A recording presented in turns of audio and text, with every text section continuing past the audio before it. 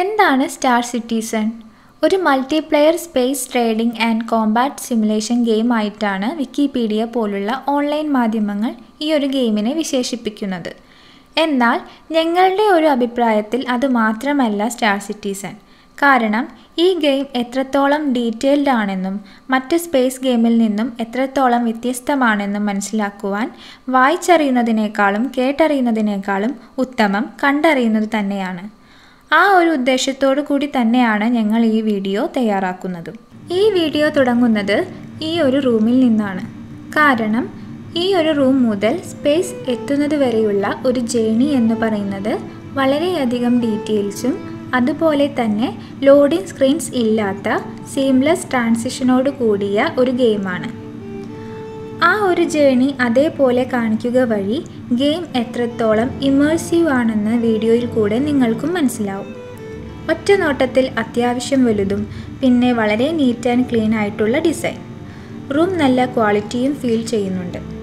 അതിനുള്ള കാരണം ഗെയിമിൽ യൂസ് ചെയ്തിട്ടുള്ള ടെക്സ്ചേഴ്സ് ആണ്.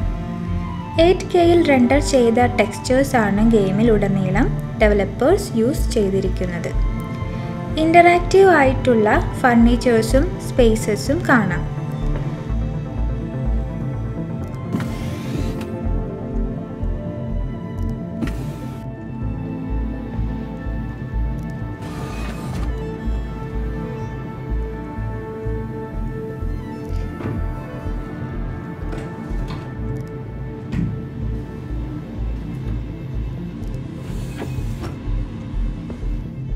റൂമിലെ ലൈറ്റ് വരെ ഡിമ്മും ബ്രൈറ്റും ആക്കാനുള്ള ഓപ്ഷൻസ് വരെ ഉണ്ട്.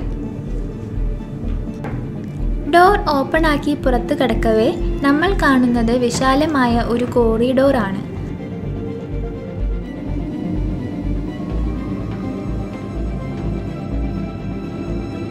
അതിന്റെ സൈഡിലുള്ള ഗ്ലാസ് വോൾ വഴി നമുക്ക് സിറ്റിയുടെ ചെറിയൊരു ഭാഗം കാണാം. അങ്ങ് അകലെ കാണുന്ന കൂറ്റൻ കെട്ടിടമാണ് നമുക്ക് പോകേണ്ട സ്പേസ് പോർട്ട്. സ്പേസ് പോർട്ടിലാണ് നമ്മുടെ സ്പേസ് ഷിപ്പ് ഒക്കെ സ്റ്റോർ ചെയ്ത് വെച്ചിരിക്കുന്നത്. ട്രെയിൻ വഴിയാണ് സ്പേസ് പോർട്ടിലേക്ക് നമുക്ക് എത്താൻ സാധിക്കുക. നമുക്കിനി ഇലവേറ്റർ വഴി ഗ്രൗണ്ട് ഫ്ലോറിൽ എത്താം. ഈ ഒരു ഇലവേറ്റർ റിയൽ ടൈം മൂവിംഗ് ആയിട്ടുള്ള ഒരു ഒബ്ജക്റ്റ് ആണ്. അതായത് മറ്റുള്ള ഗെയിംസ് പോലെ ഇലവേറ്റേഴ്സ് ഒരു ലോഡിംഗ് സ്ക്രീൻ ആയിട്ടല്ല യൂസ് ചെയ്യുന്നത്. ഒരു സെർവറിൽ മിനിമം ഹൺഡ്രഡ് പ്ലെയേഴ്സ് എങ്കിലും ഉണ്ടാകും. എല്ലാവരെയും അക്കോമഡേറ്റ് ചെയ്യാനുള്ള റൂംസും ഈ ഒരു അപ്പാർട്ട്മെന്റിൽ പല ഫ്ലോറിലായി കൊടുത്തിട്ടുണ്ട്.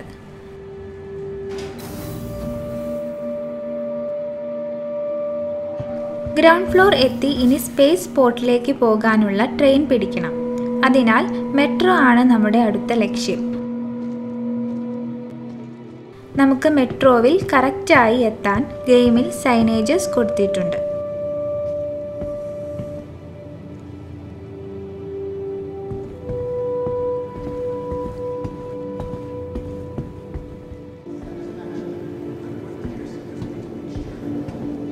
സൈനേജസ് നോക്കിയാൽ സ്പേസ് പോർട്ട് ലെഫ്റ്റിലേക്കാണ് കാണിക്കുന്നത്.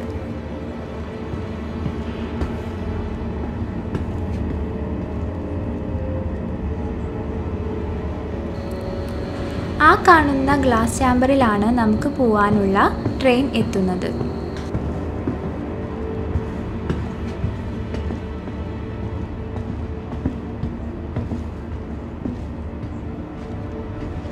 ഡോറിന്റെ മുകളിലായി ട്രെയിൻ അറൈവൽ കൗണ്ട് ഡൗൺ കാണാം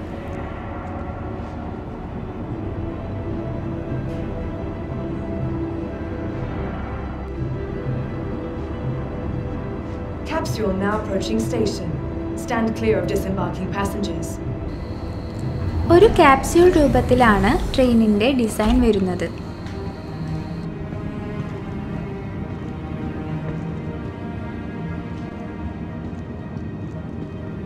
ട്രെയിനിന് ഗ്ലാസ് എൻക്ലോഷർ ആയതുകൊണ്ട് തന്നെ ഈ ഒരു സിറ്റി എത്രത്തോളം വലുപ്പമാണെന്നുള്ള ഒരു ഐഡിയ നമുക്ക് കിട്ടും.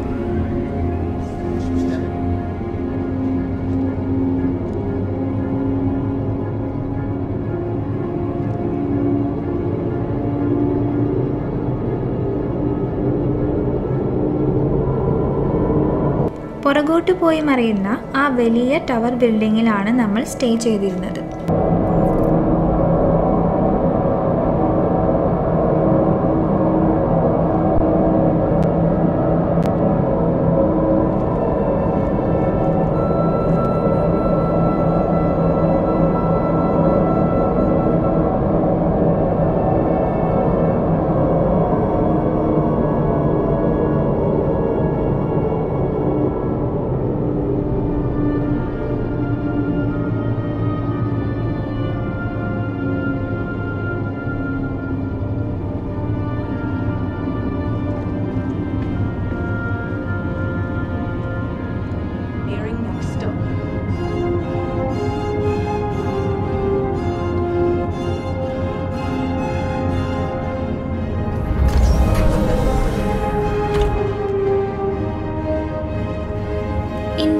റഡാർ സ്പേസ് പോർട്ട് എന്നാണ് ഈ ഒരു പോർട്ടിന്റെ പേര്.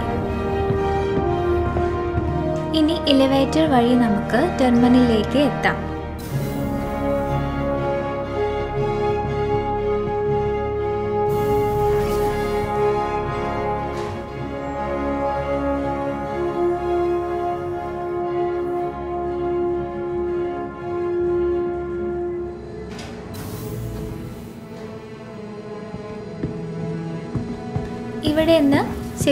സെക്യൂരിറ്റി ചെക്ക് പോയിന്റ് പിന്നെ കസ്റ്റംസ് എന്നിവ മറികടന്ന് മെയിൻ ലോബിയിലേക്ക് എത്തുന്നു.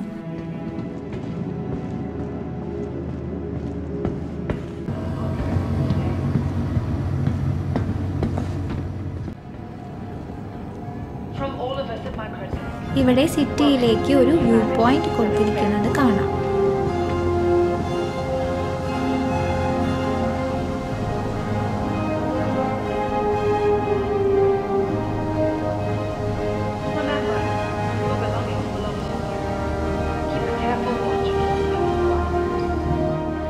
ലെഫ്റ്റ് സൈഡിൽ ഷിപ്പ് റെൻഡൽസ്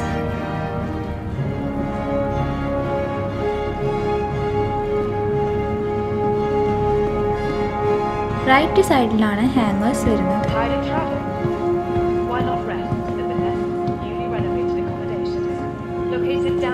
ഈ ഒരു സ്ക്രീൻ യൂസ് ചെയ്ത് നമുക്ക് നമ്മുടെ ഷിപ്പ് റിട്രീവ് ചെയ്യാം നമ്മൾ എവഞ്ചേഴ്സ് ടൈറ്റാൻ എന്ന പേരുള്ള ഒരു ചെറിയ ഷിപ്പാണ് യൂസ് ചെയ്യാൻ പോകുന്നത്. സ്ക്രീനിൽ കാണുന്ന പ്രകാരം നമ്മുടെ ഷിപ്പ് ഹാങ്ങർ നമ്പർ ഫോറിലാണ് വന്നിട്ടുള്ളത്. ഇനി നമുക്ക് എലവേറ്റർ വഴി ഹാങ്ങറിൽ എത്താം.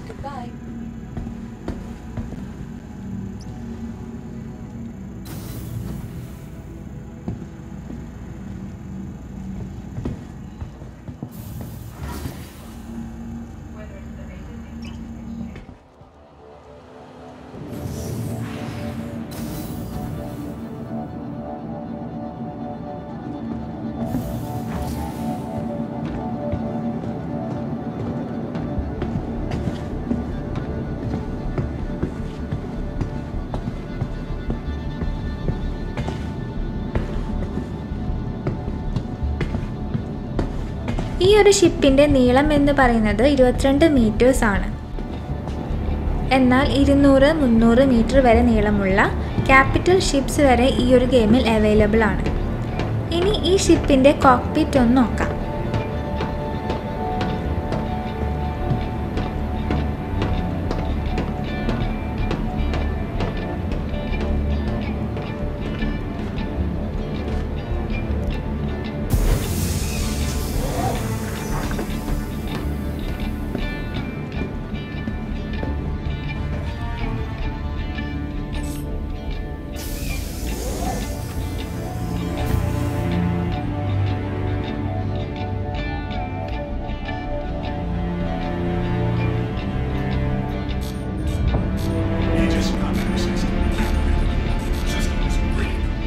സാധാരണ ഒരു ജെറ്റ് വിമാനത്തിൽ കാണുന്ന പോലത്തെ ഒരു കോക്ക്പിറ്റ് ഇതിലെ ഓരോ പാനലും നമുക്ക് ആക്സസിബിൾ ആണ്. വെപ്പൺസ് ചെക്ക് ചെയ്യാനും ഫയർ പവർ കൂട്ടുവാനും കുറയ്ക്കുവാനും അതുപോലെ തന്നെ ഷീൽഡ് പവർ കൂട്ടുവാനും ഈ പാനൽസ് വഴി പറ്റുന്നതാണ്.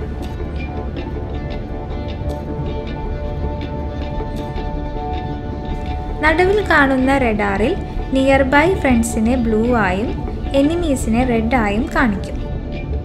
ഇനി പൈലറ്റ് ക്യാബിനു പുറകിലുള്ള സ്പേസ് നോക്കാം. ക്യാബിനു പുറകിലുള്ള ഡോർ കടന്നാൽ ഒരു ചെറിയ കോറിഡോർ സ്പേസും അതിന് സൈഡിലായി ഒരു ബെഡും കൊടുത്തിട്ടുണ്ട്.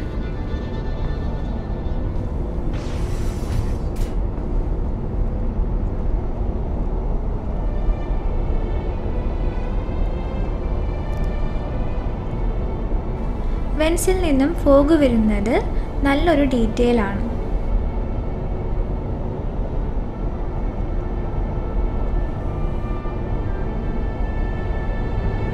ബാക്കിലായി നല്ലൊരു കാർഗോ സ്പേസും ഉണ്ട്. കാർഗോ കയറുന്നതിനായി പുറകിൽ റാമ്പ് ഓപ്പണിങ്ങും കൊടുത്തിട്ടുണ്ട്.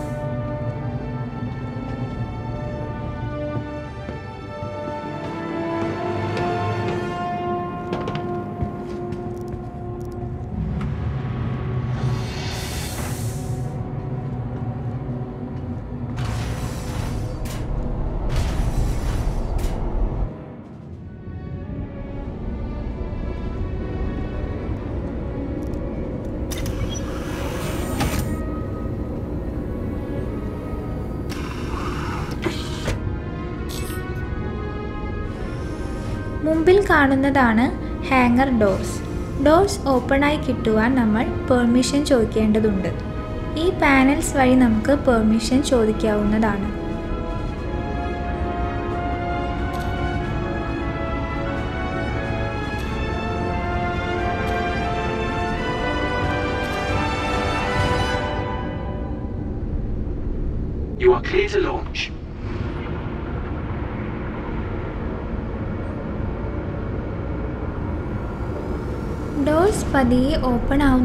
കൂടി നമുക്ക് സിറ്റിയുടെ ഒരു മനോഹരമായ വ്യൂ കിട്ടുന്നതാണ്. ഇനി നമുക്ക് സിറ്റി ഒന്ന് ചെറുതായി എക്സ്പ്ലോർ ചെയ്യാം.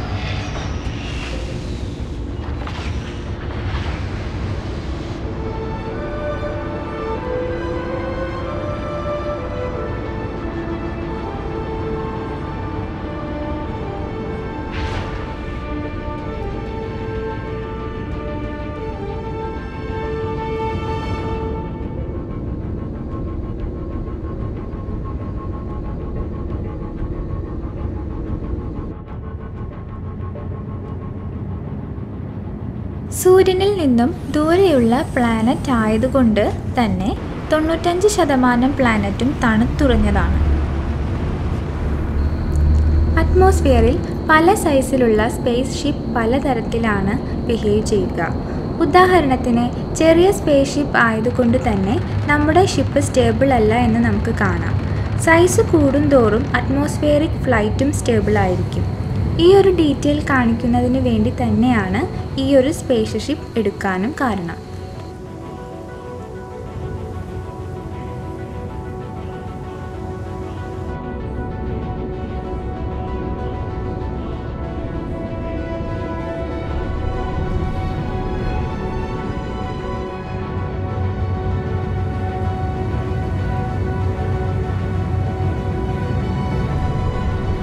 നമ്മൾ ഇപ്പോൾ പറക്കുന്നത് തണുത്തുറച്ച ഒരു ചെറിയ നദിയുടെ മുകളിലൂടെയാണ്. അതിനു മുകളിൽ ലാൻഡ് ചെയ്യുവാനും നടക്കുവാനും നമുക്ക് കഴിയും.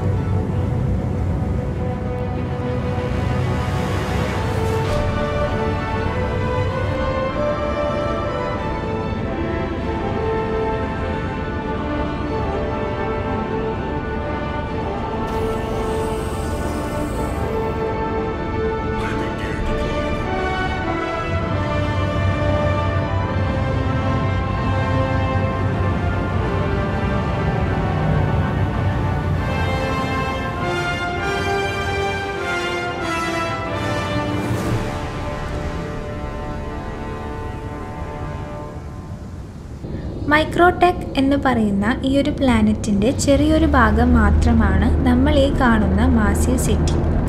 അപ്പോൾ പ്ലാനറ്റ് എത്രത്തോളം ഉണ്ടെന്ന് നമുക്ക് ഊഹിക്കാം.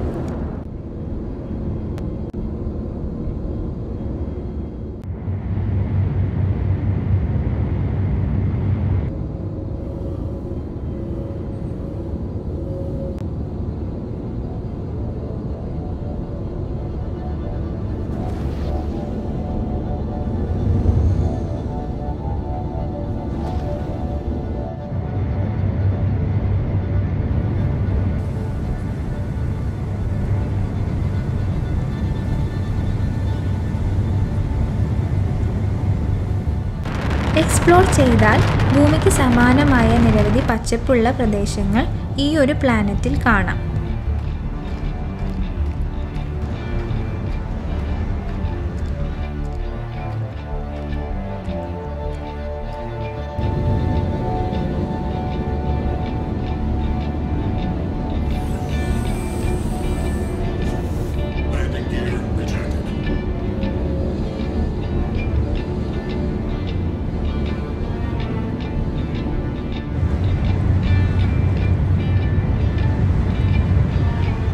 അടുത്തതായി വെതർ സിമുലേഷൻസിനെ കുറിച്ച് പറയാം. ഈ ഒരു പ്ലാനറ്റിന്റെ ഓരോ ചെടിയിലും കല്ലിലും മണ്ണിലും വരെ നമുക്ക് ഈ ഒരു വെതർ സിമുലേഷൻസ് കാണാം. ഉയരം കൂടുന്തോറും അതിശക്തമായ തണുത്ത കാറ്റും മഞ്ഞും കാണാം.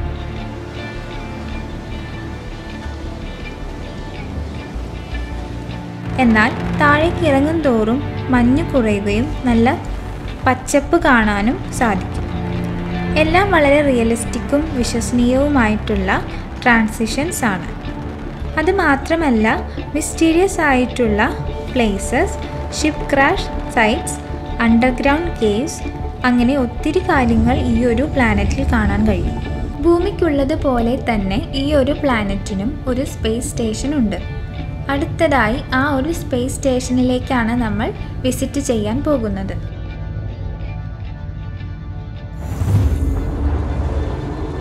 മുന്നിൽ കാണുന്നതാണ് ട്രെസ്ലർ എന്ന പേരായ സ്പേസ് സ്റ്റേഷൻ. ശൂന്യതയിൽ എവിടെയും തൊടാതെ നിൽക്കുന്ന ഇത്തരം പടുകൂറ്റൻ സ്പേസ് സ്റ്റേഷൻസ് ഈ ഒരു ഗെയിമിന്റെ അതിമനോഹര കാഴ്ചകളിൽ ഒന്ന് മാത്രമാണ്. ഇത്തരം സ്പേസ് സ്റ്റേഷനുകളിൽ പെർഫെക്റ്റായി ലാൻഡ് ചെയ്യുക എന്നുള്ളതും വളരെ സാറ്റിസ്ഫൈങ് ആയിട്ടുള്ള കാര്യമാണ്.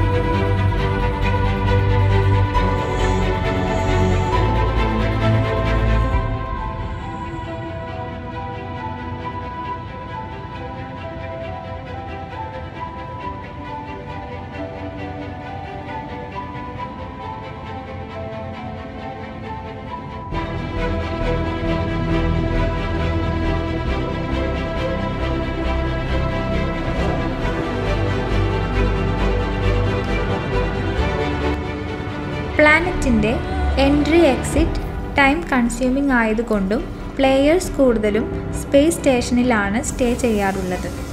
ഈ ഒരു ഗെയിമിന്റെ ഏറ്റവും ഇമ്മേഴ്സീവ് ആയിട്ടുള്ള ഫാക്ടർ എന്ന് പറയുന്നതും ഇതുതന്നെയാണ് ഈ ഒരു ഗെയിമിലെ എല്ലാ സ്പേസിനും ഒരു പർപ്പസ് ഉണ്ട്. വെറുതെ ഭംഗിക്ക് മാത്രമല്ല എന്ന് സാരം.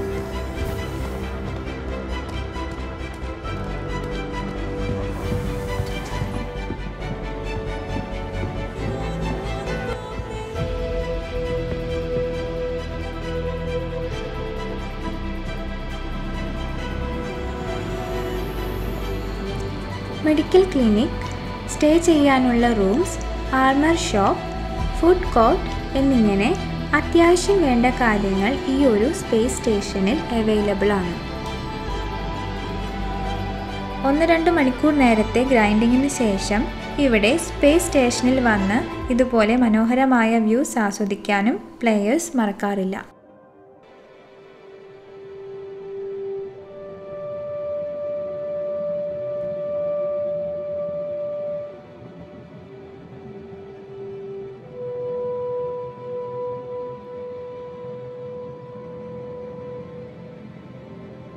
ഇവിടെ നിന്ന് അങ്ങോട്ടുള്ള യാത്രയിൽ ഇനി നിങ്ങളെ ഗൈഡ് ചെയ്യണത് ഞാനായിരിക്കും. അപ്പോൾ ഇതുവരെയുള്ള ജേണി നിങ്ങൾക്ക് ഇഷ്ടപ്പെട്ടു എന്ന് വിചാരിക്കുന്നു. നമ്മൾ മൈക്രോടെക് പ്ലാനറ്റ് കുറച്ചൊന്ന് എക്സ്പ്ലോർ ചെയ്തു. പിന്നെ അതിന്റെ സ്പേസ് സ്റ്റേഷനിലാണ് ഇപ്പോൾ നമ്മൾ നിൽക്കുന്നത് ഇതുപോലത്തെ സ്പേസ് സ്റ്റേഷൻസ് ഇഷ്ടംപോലെ ഇനിയും ഈ ഒരു ഗെയിമിലുണ്ട് അതും ഡിഫറെന്റ് സൈസസും ഡിഫറെന്റ് ഡിസൈനോട് കൂടിയ സ്പേസ് സ്റ്റേഷൻസ് ഈ ഒരു ഗെയിമിൽ അവൈലബിൾ ആണ്. ഓക്കെ അപ്പോൾ ഇനി നമ്മുടെ അടുത്ത ലക്ഷ്യം എന്ന് പറയുന്നത് നമ്മളിപ്പോൾ പ്ലാനറ്റ് കണ്ടു. ഇനി മൂൺ എങ്ങനെ ഇരിക്കും? ഒരു പ്ലാനറ്റിന്റെ മൂൺ എങ്ങനെ ഇരിക്കും എന്ന് കൂടി നമുക്ക് നോക്കാം. അപ്പോൾ എനിക്ക് ഫേവറേറ്റ് ആയിട്ടുള്ള ഒരു മൂണ് നമുക്കൊന്ന് വിസിറ്റ് ചെയ്യാം. അപ്പോൾ എന്തായാലും നമ്മൾ സ്പേസ് ഷിപ്പ് ഒന്ന് മാറ്റുന്നുണ്ട് നമ്മൾ മുമ്പ് യൂസ് ചെയ്തത് അവഞ്ചേഴ്സ് ടൈറ്റാൻ ആയിരുന്നു. അപ്പോൾ അതിലും കുറച്ച് വലിപ്പമുള്ള ഒരു സ്പേസ് ഷിപ്പാണ് നമ്മൾ ഇപ്പോൾ എടുക്കാൻ പോണത്. അപ്പോൾ ഒറിജിൻ ത്രീ ട്വന്റി ഫൈവ് എന്ന് പറയുന്ന സ്പേസ് ഷിപ്പാണ് ഇനി നമ്മൾ യൂസ് ചെയ്യാൻ പോണത്. അപ്പോൾ വലിപ്പം മാത്രമല്ല അതിന്റെ ബാക്കിയുള്ള ഫീച്ചേഴ്സും നല്ല ഡിഫറെന്റ് ആണ്. നമ്മൾ യൂസ് ചെയ്ത ടൈറ്റാനും ഇതും വെച്ച് നോക്കുമ്പോൾ നല്ല ഡിഫറൻസും ആണ്. System. Lever to the okay അപ്പോൾ ഹാങ്ങർ നമ്പർ ഫോറിലാണ് നമ്മുടെ സ്പേസ് ഷിപ്പ് വന്ന് നിൽക്കുന്നത്. So let's go to hangar number four ഈ ലിഫ്റ്റ് വഴി നമുക്ക് അങ്ങോട്ട് പോവാം.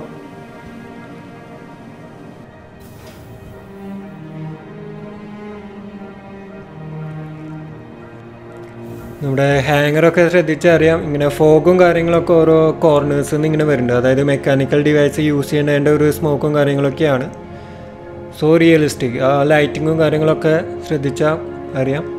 സോ റിയലിസ്റ്റിക് ആയിട്ടാണ് അവർ ഗ്രാഫിക്സും കാര്യങ്ങളൊക്കെ ചെയ്തിരിക്കുന്നത് അപ്പോൾ ഒറ്റ നോട്ടത്തിൽ നല്ല ഡിഫറൻസ് ഉണ്ട്. നമ്മൾ മുന്ന് യൂസ് ചെയ്ത ഷിപ്പും ഈ ഒരു ഷിപ്പും നമ്മൾ നല്ല വ്യത്യാസങ്ങൾ നമുക്ക് കാണാം. അപ്പോൾ രണ്ട് വിങ്സിലായിട്ട് നമുക്ക് വെപ്പൻസ് കാണാം. അപ്പോൾ അത് കുറച്ചുകൂടി അടുത്ത് പോയി നോക്കിയാൽ ലേസർ റിപ്പീറ്റേഴ്സാണ് രണ്ട് വിങ്സിലും കൊടുത്തിരിക്കുന്നത് വെപ്പന്റെ ഒക്കെ ഡീറ്റെയിൽ കണ്ടു? വളരെ മൈന്യൂട്ടായിട്ടുള്ള ഡീറ്റെയിൽ വരെ അവർ നന്നായിട്ട് ചെയ്തിട്ടുണ്ട്. ഇനി മുമ്പിലും ഒരു വെപ്പൺ ഉണ്ട്. അത് ബാലിസ്റ്റിക് ഗാറ്റ്ലിംഗ് ഗണ്ണാണ് അപ്പോൾ ലേസറും ഉണ്ട് ഉണ്ട്. അപ്പോൾ ലേസറിന്റെ ഒരു അഡ്വാന്റേജ് എന്ന് പറഞ്ഞാൽ എമോ തീരില്ല ലേസറിൽ പക്ഷേ ബാലിസ്റ്റിക് എന്ന് പറയുമ്പോൾ ഫിസിക്കൽ എമോ ആണ് നമ്മൾ യൂസ് ചെയ്യുന്നത്. അപ്പോൾ അങ്ങനെ നമ്മൾ ഓരോ നമുക്ക് പറ്റിയ ചോയ്സ് ഏതാണോ അത് അനുസരിച്ച് നമുക്ക് വെപ്പൻസും കാര്യങ്ങളൊക്കെ ഇഷ്ടംപോലെ കസ്റ്റമൈസേഷൻ കിട്ടും അതൊക്കെ നമ്മളിങ്ങനെ ട്രയൽ ആൻഡ് എററൊക്കെ ചെയ്ത് നമുക്ക് സ്യൂട്ടബിൾ ആയിട്ടുള്ള ഒരു വെപ്പൺ സിസ്റ്റം നമ്മൾ ലോഡ് ഔട്ട് നമ്മൾ സെറ്റ് ചെയ്യണം. ഓക്കെ അപ്പോൾ നമ്മുടെ ഇതിന്റെ കോക്പിറ്റ് ഒന്ന് നോക്കാം.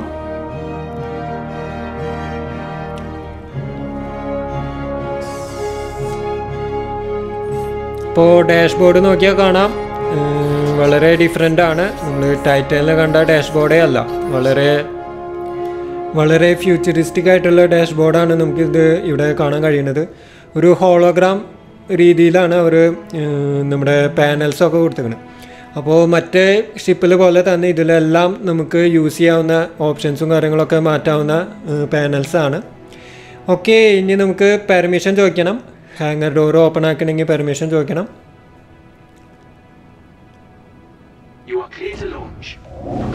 ഓക്കെ ഡോർ ഓപ്പൺ ആയി വരുന്നുണ്ട്. അപ്പോൾ ഇത്രയും വലിയൊരു ഡിഫറൻസ് വരാനുള്ള മെയിൻ റീസൺ എന്ന് പറയുന്നത് അതൊരു യൂട്ടിലിറ്റി കാർഗോ ഷിപ്പായിരുന്നു നമ്മൾ മുമ്പ് യൂസ് ചെയ്തത്. പക്ഷേ ഇതൊരു ലക്ഷറി കാറ്റഗറിയിൽ വരുന്ന ലക്ഷറി എക്സ്പ്ലോറർ കാറ്റഗറിയിൽ വരുന്ന ഒരു സ്പേസ് ഷിപ്പാണ് നമ്മൾ ഇപ്പോൾ യൂസ് ചെയ്തുകൊണ്ടിരിക്കുന്നത്. അതുകൊണ്ട് തന്നെ ഈ ഒരു ചെറിയൊരു ഷിപ്പാണെങ്കിൽ കൂടി നല്ലൊരു ലക്ഷറി ഫീൽ നമുക്ക് കിട്ടും. അത് ഇനി ഈ നമ്മുടെ പൈലറ്റിന്റെ ബാക്കിലുള്ള സ്പേസ് നമ്മൾ കാണുമ്പോൾ നമുക്കത് മനസ്സിലാവും. ആ ലക്ഷറി ഫീലിംഗ് നമുക്ക് ശരിക്കും മനസ്സിലാവും.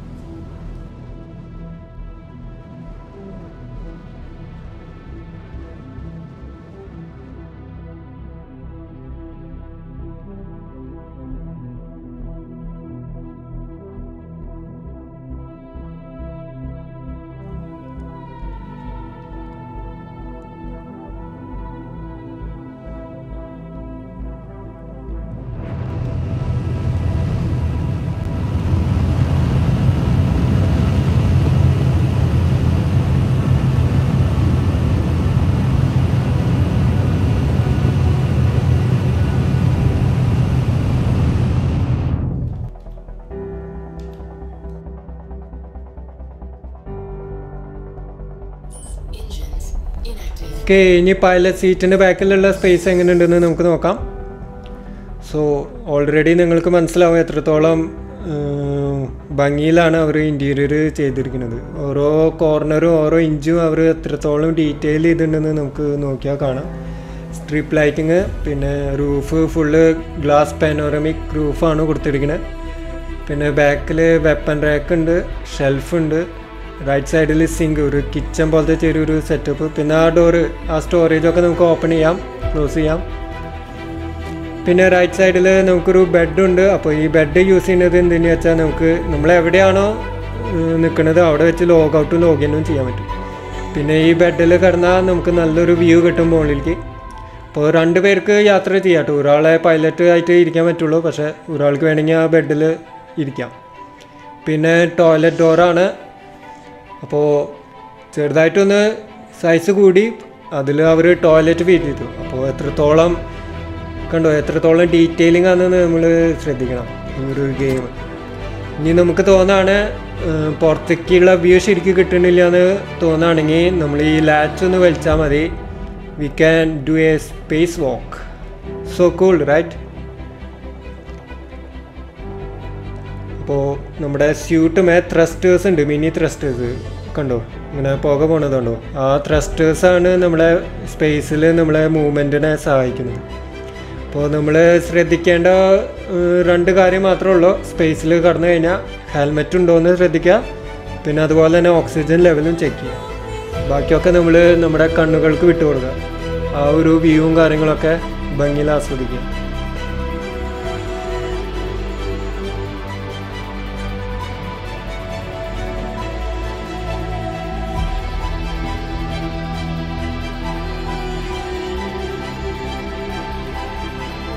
ഓക്കെ അപ്പോൾ നമുക്കിനി നമ്മുടെ സ്പേസ് ഷിപ്പിലേക്ക് തിരിച്ചു കയറാം. ഇനി നമ്മൾ ചെക്ക് ചെയ്യാൻ പോണത് ഈ ഒരു ഗെയിം എത്രത്തോളം സ്കെയിൽ ഉണ്ടെന്നാണ് നമ്മൾ ചെക്ക് ചെയ്യാൻ പോണത്. അപ്പോൾ നമ്മളിപ്പോൾ കണ്ടു ഒരു ചെറിയൊരു റൂമിൽ നിന്ന് നമ്മൾ ഇത്രയും വലിയൊരു സ്പേസ് വരെ എത്തിയിരിക്കുന്നു. അപ്പോൾ ആ ഒരു ജേണി നമ്മൾ കണ്ടു. ഒരു ലോഡിങ് സ്ക്രീനോ അങ്ങനെ കാര്യങ്ങളോ ഒന്നുമില്ലാതെ വളരെ സ്മൂത്ത് ട്രാൻ ട്രാൻസിഷൻസ് ആയിരുന്നു ഇതുവരെയും നമ്മൾ കണ്ടത്. ഇവിടുന്ന് അങ്ങോട്ടും ഇതേപോലെ തന്നെയാണ്. അപ്പോൾ ഇനി നമുക്ക് നമ്മുടെ സ്റ്റാർ മാപ്പ് ഒന്ന് എടുക്കാം. ഓക്കെ ഓക്കെ അപ്പോൾ ഇതിൽ മാപ്പ് എന്ന് പറയുന്നത് ഒരു എന്റെ സോളാർ സിസ്റ്റം ആണ്. ഇതിൽ മാപ്പ് എന്ന് പറയുന്ന സംഭവം. അപ്പോൾ ഇത് നിങ്ങൾക്ക് കാണാൻ കുറച്ച് ബുദ്ധിമുട്ടുണ്ടാവും. കാണും ബാക്കിൽ ആ ഷെയ്ഡും കാര്യങ്ങളൊക്കെ വരുമ്പോൾ അപ്പോൾ അതുകൊണ്ട് ഞാൻ ഇതിൽ സൈറ്റിൽ ഇതിന്റെ ഒരു ക്ലിയർ ആയിട്ടുള്ള ഒരു മാപ്പ് അവൈലബിൾ ആണ്. അപ്പോൾ ഞാൻ ആ സംഭവം നിങ്ങൾക്ക് കാണിക്കാം.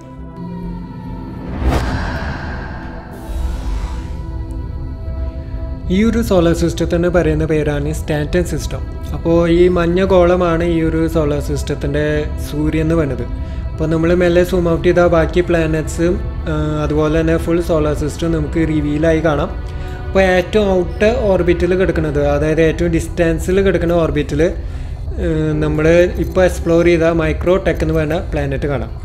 അതുകൊണ്ട് തന്നെ ഏറ്റവും ഡിസ്റ്റൻസിലായതുകൊണ്ട് തന്നെ ഈ ഒരു പ്ലാനറ്റ് എപ്പോഴും ഒരു തണുത്തുറഞ്ഞ സ്വഭാവമാണ് ഈ ഒരു പ്ലാനറ്റിന് എപ്പോഴും ഉണ്ടാവാറ്. അപ്പോൾ മറ്റുള്ള മൂന്ന് പ്ലാനറ്റ്സ് നോക്കുകയാണെങ്കിൽ ഒന്ന് ആർക്ക് കോർപ്പ് എന്ന് പറഞ്ഞൊരു പ്ലാനറ്റ് പിന്നെ ഹേഴ്സ്റ്റൺ അതുപോലെ തന്നെ ക്രൂസൈഡർ അപ്പോൾ പ്ലാനറ്റിനെ കുറിച്ച് പറയുകയാണെങ്കിൽ ഒരു രക്ഷയില്ല കേട്ടോ അൺബിലീവബിൾ വളരെ ഡിഫറെന്റ് ആണ്. എന്റയർലി ഡിഫറെന്റ് ആയിട്ടുള്ള പ്ലാനറ്റ്സും അതിന്റെ ഡീറ്റെയിലിങ്ങും മോഡലിങ്ങും ഒക്കെ വളരെ ഹൈ ക്വാളിറ്റിയിലാണ് ഇവർ ചെയ്തിരുന്നത്. ഫോർ എക്സാമ്പിൾ ഈ ഒരു ആർക്ക് കോർപ്പ് എന്ന് പറഞ്ഞ പ്ലാനറ്റ് ഉണ്ടല്ലോ. Entirely enter planet is full of buildings എങ്ങനെ എങ്ങനെ സാധിക്കണമെന്ന് ഒരു ഐഡിയ ഇല്ല കേട്ടോ. ഒരു രക്ഷയില്ല. പറയാതിരിക്കാൻ വയ്യ. അതുപോലെ തന്നെ ഈ ഒരു പ്ലാനറ്റ് എന്ന് പറയുന്നത് ഒരു ഗ്യാസ് ജൈന്റ് ആണ്. ഫുൾ ഓഫ് ഗ്യാസ് അതിൽ ബിൽഡിങ്സൊക്കെ ഫ്ലോട്ട് ചെയ്ത് നിൽക്കണം മോസ്റ്റ് ബ്യൂട്ടിഫുൾ പ്ലാനറ്റ് എന്ന് തന്നെ പറയാം ഈ ഒരു പ്ലാനറ്റ് അപ്പോൾ അതിന്റെ ഒക്കെ ഒരു വീഡിയോ ചെയ്യണമെന്നുണ്ട്. സമയം കിട്ടാത്തത് കൊണ്ടാണ് അപ്പോൾ എനിവേ അത് നമുക്ക് വിടാം. ഇനി നമ്മൾ ചെക്ക് ചെയ്യാൻ പോണത് ഈ ഒരു സോളാർ സിസ്റ്റത്തിന്റെ സ്കെയിലാണ് അപ്പോൾ അത് ശ്രദ്ധിച്ച് കേട്ടോ. ഈ ഒരു സൂര്യന്റെ നടുക്കിൽ നിന്നും ഔട്ട് ഓർബിറ്റിലേക്ക് വരുന്ന ഡിസ്റ്റൻസ് എന്ന് പറയുന്നത് point three three astronomical unit can you believe it അതായത് ഫിഫ്റ്റി ഫൈവ് മില്യൺ കിലോമീറ്റേഴ്സ് വരും. ഏകദേശം നമ്മുടെ സോളാർ സിസ്റ്റത്തിൽ സൂര്യനും മെർക്കുറിയും തമ്മിലുള്ള ഡിസ്റ്റൻസ് കവർ ചെയ്യുന്നുണ്ട് ഈ ഒരു ഡിസ്റ്റൻസ് എന്ന് പറയുന്നത്. അതായത് ഫിഫ്റ്റി ഫൈവ് മില്യൺ കിലോമീറ്റർ ഒരു രക്ഷയില്ല കേട്ടോ അൺബിലീവബിൾ അപ്പോൾ നിങ്ങൾക്ക് സ്വാഭാവികമായി വരാവുന്ന ഒരു ചോദ്യമാണ് എങ്ങനെ ഈ ഒരു ഡിസ്റ്റൻസ് നമ്മൾ കവർ ചെയ്യും? ഇപ്പോൾ ഈ ആർക്ക് കോർപ്പും മൈക്രോ ടെക്കും രണ്ടും രണ്ട് അറ്റത്താണ് രണ്ട് പ്ലാനറ്റ്സിന്റെ അറ്റത്താണ്. അപ്പോൾ ഈ ഫിഫ്റ്റി ഫൈവ് മില്യങ്ങാട്ടും കൂടും. ഏകദേശം അറുപത് അറുപത്തഞ്ച് മില്യൺ കിലോമീറ്റർ ദൂരെയാണ് രണ്ട് പ്ലാനറ്റ്സ് നിൽക്കുന്നത്. അപ്പോൾ ഈ ഒരു മില്യൺ കിലോമീറ്റേഴ്സ് എങ്ങനെ കവർ ചെയ്യുന്നത് വെച്ചാൽ ക്വാണ്ടം ഡ്രൈവ് വഴിയാണ്. അപ്പോൾ അവർ പറയുന്ന സ്പീഡ് എന്ന് പറയുന്നത് ഒരു ക്വാണ്ടം ഡ്രൈവിൽ അവർ കവർ ചെയ്യുന്നത് ഇരുന്നൂറ്റി മുപ്പത് കെ അതായത് ടു ലാക്ക് തേർട്ടി തൗസൻഡ് കിലോമീറ്റേഴ്സാണ് കിലോമീറ്റേഴ്സ് പെർ സെക്കൻഡാണ് ഒരു അതിന്റെ സ്പീഡ് എന്ന് പറയുന്നത്. നമ്മുടെ ലൈറ്റിന്റെ സ്പീഡ് തന്നെ ത്രീ ലാക്ക് അല്ല?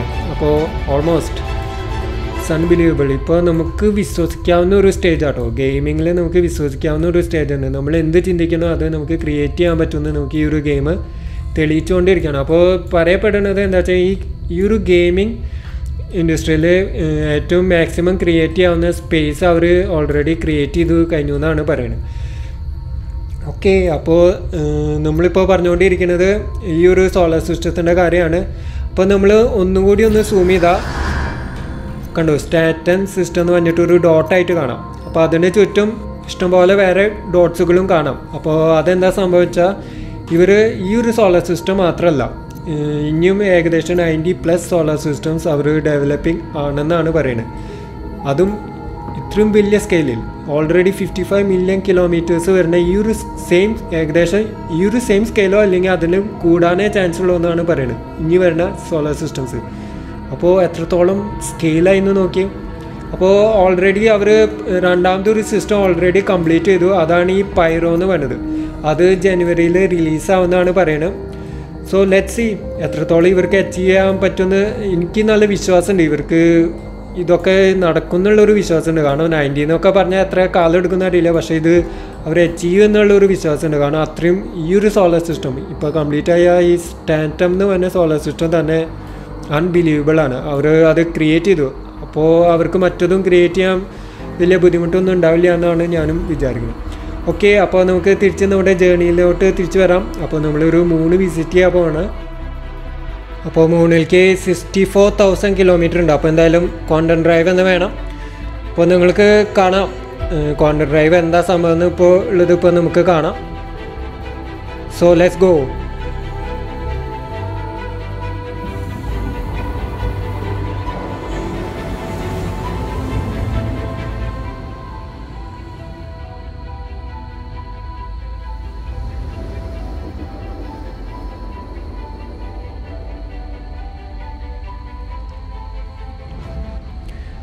ഓക്കെ അപ്പോൾ ഇത് ഡൈമർ എന്ന് പറയുന്ന ഒരു മൂണാണ്. അപ്പോൾ ഇതിന്റെ ഒരു പ്രത്യേകത എന്താ വെച്ചാൽ ഹോട്ടസ്റ്റ് പ്ലേസ് ആണ്. ഈ ഒരു സോളാർ സിസ്റ്റത്തിലെ ഏറ്റവും ഹോട്ടസ്റ്റ് പ്ലേസ് ആണ്.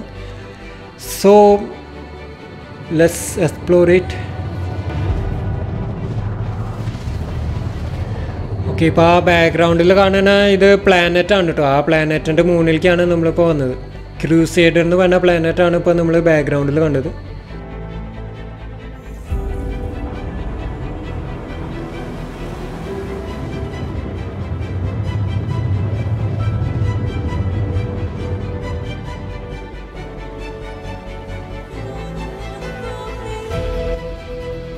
അപ്പോൾ ഈ ഒരു മൂണ് വേണമെങ്കിൽ നമുക്ക് എന്റയർലി ഡെസേർട്ടാന്ന് പറയാം.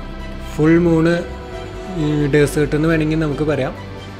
ഒരു പച്ചപ്പോ കാര്യങ്ങളൊന്നും നമുക്ക് ഇവിടെ കാണാൻ കഴിയില്ല. ഫുള്ളി ഡെസേർട്ടഡ് ആണ്. അപ്പോൾ ഇവിടുത്തെ സാ നമ്മളിപ്പോൾ വിചാരിക്കും നമ്മുടെ ഭൂമിയിലൊക്കെ കാണുന്ന പോലത്തെ ഡെസേർട്ട് കുറച്ച് ടെമ്പറേച്ചർ കൂടുതലായിരിക്കും എന്നുള്ളതിന് പക്ഷേ ഇത് അങ്ങനെയല്ല. ഇതിൽ അറ്റ്മോസ്ഫിയറും എന്തോ ഒരു ഒരു വിഷവാതകമാണ്. എന്തോ മീതേനോ അങ്ങനെ എന്തോ ആണ് ഞാൻ വായിച്ചത്. അപ്പോൾ ഹെൽമെറ്റ് ഇല്ലാതെ എന്തായാലും നമുക്ക് ഇവിടെ ഇറങ്ങാൻ പറ്റില്ല. പിന്നെ ഒരു പ്രത്യേക തരം സ്യൂട്ടും കാര്യങ്ങളൊക്കെ വെച്ചിട്ടാണ് നമ്മൾ ഇതിൽ ഈ പ്ലാനറ്റ് ഇല്ല ഈ ഒരു മൂണിൽ നമുക്ക് ഇറങ്ങാൻ പറ്റുള്ളൂ. ഓക്കെ നമുക്ക് ലാൻഡ് ചെയ്യാനുള്ളൊരു സ്ഥലം കണ്ടുപിടിക്കണം. ഓക്കെ അവിടെ ലാൻഡിങ് പാഡ് ഉണ്ട്. അപ്പോൾ ഇവിടെ ഈ ഒരു മൂണിൽ നമുക്ക് ഇഷ്ടംപോലെ മിഷ്യൻസും കാര്യങ്ങളൊക്കെ ഉണ്ട് കേട്ടോ അണ്ടർ നമ്മുടെ അണ്ടർഗ്രൗണ്ട് ബങ്കർ അതുപോലെ കേവ്സ് അങ്ങനെ ഇഷ്ടംപോലെ ഇഷ്ടംപോലെ ബങ്കേഴ്സും കേവ്സും ഒക്കെ ഉള്ള ഒരു മൂണാണ് ഡൈമർ എന്ന് പറയുന്നത്. ഇതൊരു ഔട്ട് പോസ്റ്റ് പോലത്തെയാണ്. നമുക്ക് എന്തെങ്കിലും ഫ്യൂലോ കാര്യങ്ങളൊക്കെ അടിക്കണമെങ്കിൽ ട്രാവലിങ്ങിന്റെ ഇടയ്ക്ക് ഫ്യൂലോ കാര്യങ്ങളൊക്കെ കുറവാണെങ്കിൽ ഇവിടെ നിന്ന് നമുക്ക് അടിച്ചിട്ട് പോവാം.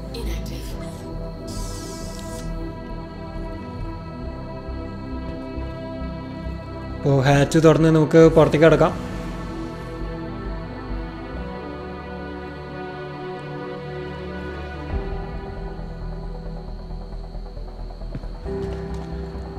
മാൻ ലുക്ക് അറ്റ് ദാറ്റ് നല്ല ചൂട് കാറ്റാട്ടോ. ഇവിടെ അടിക്കുന്നത് ഫുള്ള് ചൂട് കാറ്റാണ്. ഗ്രാഫിക്സ് നോക്കൂ. ആ ടെസ്റ്റേഴ്സും കാര്യങ്ങളൊക്കെ എത്ര റിയലിസ്റ്റിക് ആണെന്ന് നോക്കണേ.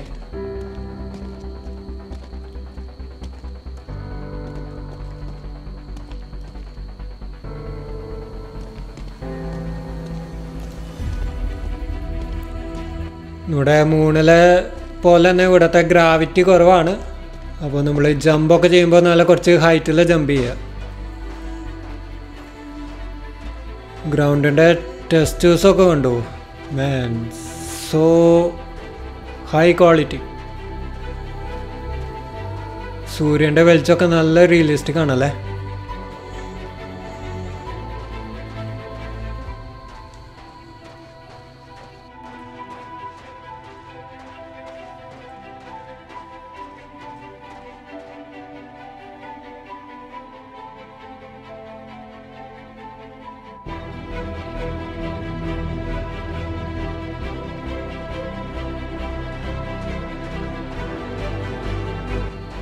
ഓക്കെ ഇനി നമുക്ക് ഈ ഒരു മൂണിന്റെ ഡാർക്ക് സൈഡ് ഒന്ന് നമുക്ക് എക്സ്പ്ലോർ ചെയ്യാം. അതായത് നേരെ ഓപ്പോസിറ്റ് ഭാഗം. ഓക്കെ നമ്മൾ ഫസ്റ്റ് ടൈം കളിക്കുമ്പോൾ ഒരു ചെറിയൊരു പേടിയും കാര്യങ്ങളൊക്കെ വരും കേട്ടോ കാരണം ലാൻഡ് ചെയ്യുമ്പോഴൊക്കെ അത്യാവശ്യം ക്രാഷും കാര്യങ്ങളൊക്കെ സംഭവിക്കും. ഗെയിം ഇസ് സോ ഇന്റൻസ്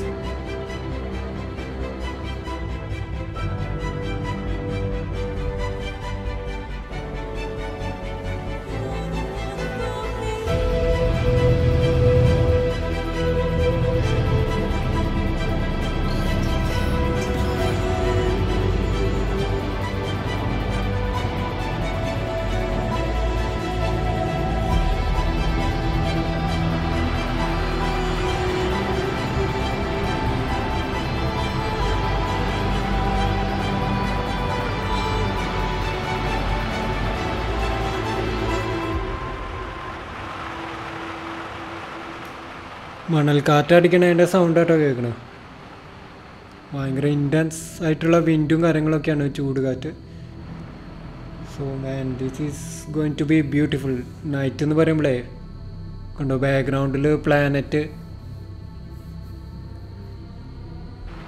നമ്മൾ ചിലപ്പോൾ മിഷൻസും കാര്യങ്ങളൊന്നും ചെയ്തില്ല എന്ന് വരും. വെറുതെ ഇങ്ങനെ ആ ഒരു ഭംഗി നോക്കിയിരിക്കും.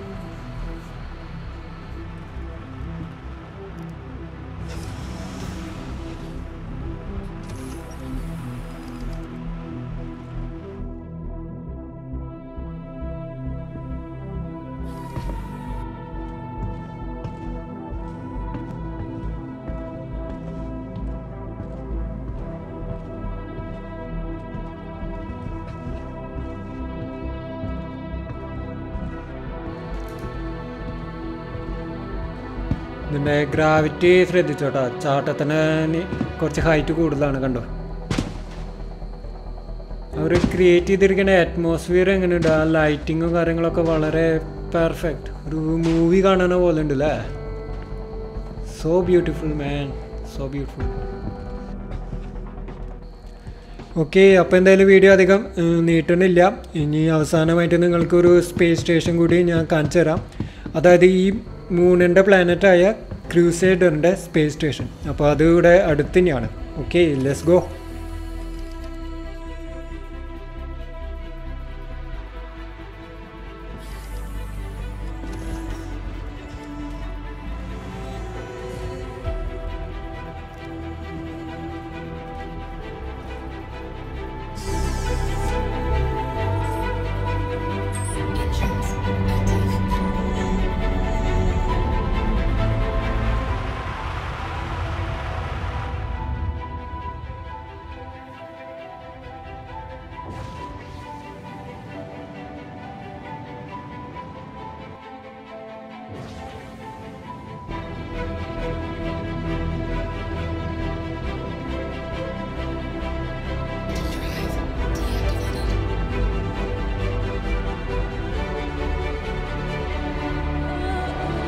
ഒരു സ്ക്വയർ ഉണ്ടോ. അവിടെയാണ് നമ്മുടെ സ്പേസ് സ്റ്റേഷൻ വരുന്നത്.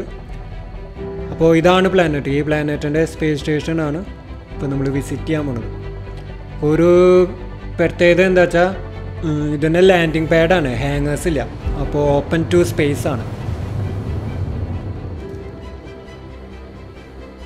ഓക്കെ നമ്മുടെ സ്പേസ് സ്റ്റേഷൻ എത്തി. ഇനി അടുത്ത ടാസ്ക് എന്ന് പറയുന്നത് ലാൻഡ് ചെയ്യലാണ്. So let's do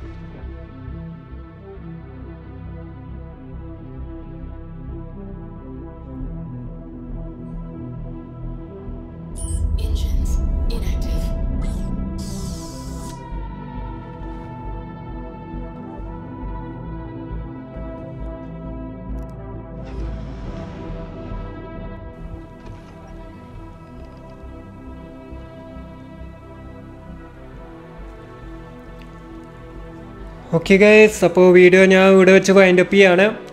നമ്മുടെ ആ പ്ലാനറ്റാണ് കേട്ടോ. തൊട്ടടുത്ത് പ്ലാനറ്റാണ് കാണുന്നത്. റിയലി ക്ലോസ് അപ്പോൾ ഈ ഒരു സ്പേസ് സ്റ്റേഷൻ വളരെ തൊട്ടടുത്താണ്. ഈ പ്ലാനറ്റിന്റെ തൊട്ടടുത്താണ്. ഓക്കെ അപ്പോൾ ഇതിലത്തെ മിഷൻസിനെ കുറിച്ച് പറയുകയാണെങ്കിൽ ഇഷ്ടംപോലെ മിഷൻസ് ഉണ്ട്. അപ്പോൾ എനിക്ക് പെട്ടെന്ന് ഓർമ്മയിൽ വരുന്ന കുറച്ച് മിഷൻസ് ഞാൻ പറയാം. അപ്പോൾ നമ്മളിപ്പോൾ ബാക്ക്ഗ്രൗണ്ടിൽ കാണുന്നതാണ് ബങ്കർ മിഷൻസ് അപ്പോൾ ഇതിന്റെ മെയിൻ സംഭവം എന്താ വെച്ചാൽ അണ്ടർഗ്രൗണ്ട് ബങ്കേഴ്സ് നമ്മൾ സെക്യൂർ ചെയ്യുക അതായത് ഡ്രഗ് മാഫിയും കാര്യങ്ങളൊക്കെ പിടിച്ചു വെച്ചിരിക്കുന്ന ബങ്കേഴ്സ് നമ്മൾ ക്ലിയർ ചെയ്യാം. അതുപോലെ തന്നെ കെ മിഷൻസ് ഉണ്ട്. കെ മിഷൻസ് ഒന്നില്ലെങ്കിൽ ബൗണ്ടിയുടെ ഭാഗമായിട്ട് വരാം. ഇല്ലെങ്കിൽ ഇതുപോലെ മേഴ്സിനറി മിഷൻസിന്റെ ഭാഗമായിട്ട് വരാം. അപ്പോൾ കെയ്വിൽ മിഷൻസ് എന്ന് പറഞ്ഞാൽ അതൊരു ഡിഫറെന്റ് എക്സ്പീരിയൻസ് ആണ്. കാരണം ഇപ്പോൾ നമ്മൾ സ്ക്രീനിൽ കാണുന്ന പോലെ വളരെ ഡാർക്ക് ആയിരിക്കും അറ്റ്മോസ്ഫിയർ പിന്നെ വളരെ ക്വൈറ്റ് ആയിരിക്കും. അപ്പോൾ അത് വല്ലാത്തൊരു എക്സ്പീരിയൻസ് ആണ്. കേവ് മിഷൻസ് എന്ന് പറഞ്ഞത്. പിന്നെ എനിക്ക് ഏറ്റവും ഫേവറേറ്റ് മിഷൻസ് എന്ന് പറഞ്ഞത് ഇതിലത്തെ ബൗണ്ടി മിഷൻസ് ആണ്. അപ്പോൾ ബൗണ്ടി മിഷൻസ് ഒരു നയന്റി ഫൈവ് പെർസെന്റേജും ഏരിയൽ ഫൈറ്റ്സ് ആയിരിക്കും. പ്ലെയർ വേഴ്സസ് പ്ലെയർ ബൗണ്ടി ആയിരിക്കാം. അല്ലെങ്കിൽ പ്ലെയർ വേഴ്സസ് എ ഐ ബൗണ്ടീസും നമുക്ക് കിട്ടും. അപ്പോൾ ഇത് മെയിനായിട്ട് വരുന്നത് ഇതുപോലെ ഏരിയൽ കോമ്പാറ്റ് ആണ് വരുന്നത്. അപ്പോൾ കിടുന്ന ലൊക്കേഷൻസ് ആയിരിക്കും. ഇപ്പോൾ നമ്മളിപ്പോൾ കാണുന്ന പോലെ ആസ്ട്രോയിഡ്സ് എന്നൊക്കെ പറയുമ്പോൾ വളരെ ചലഞ്ചിങ് ആണ്. പിന്നെ വളരെ സാറ്റിസ്ഫൈങ് ആയിട്ടുള്ള ഫൈറ്റ്സ് ആണ് വരുന്നത്. സോ ഇതൊക്കെയാണ് ഈ ഒരു ഗെയിമിനെ കുറിച്ച് പറയാനുള്ളത്. അപ്പോൾ ഫ്രീ വീക്കെൻഡാണ് അപ്പോൾ എന്തായാലും ട്രൈ ചെയ്യേണ്ടവർക്ക് ട്രൈ ചെയ്യാം. അപ്പോൾ ഈ ഒരു ഗെയിമിനെ പറ്റി ഒരു ചെറിയൊരു ഐഡിയ കിട്ടാൻ വേണ്ടിയിട്ടാണ് ഈ ഒരു വീഡിയോ കൊണ്ട് ഞാൻ ഉദ്ദേശിച്ചത്. അപ്പോൾ ശരി മറ്റൊരു വീഡിയോയിൽ കാണാം. അതുവരെ എല്ലാവർക്കും ബൈ ടേക്ക് കെയർ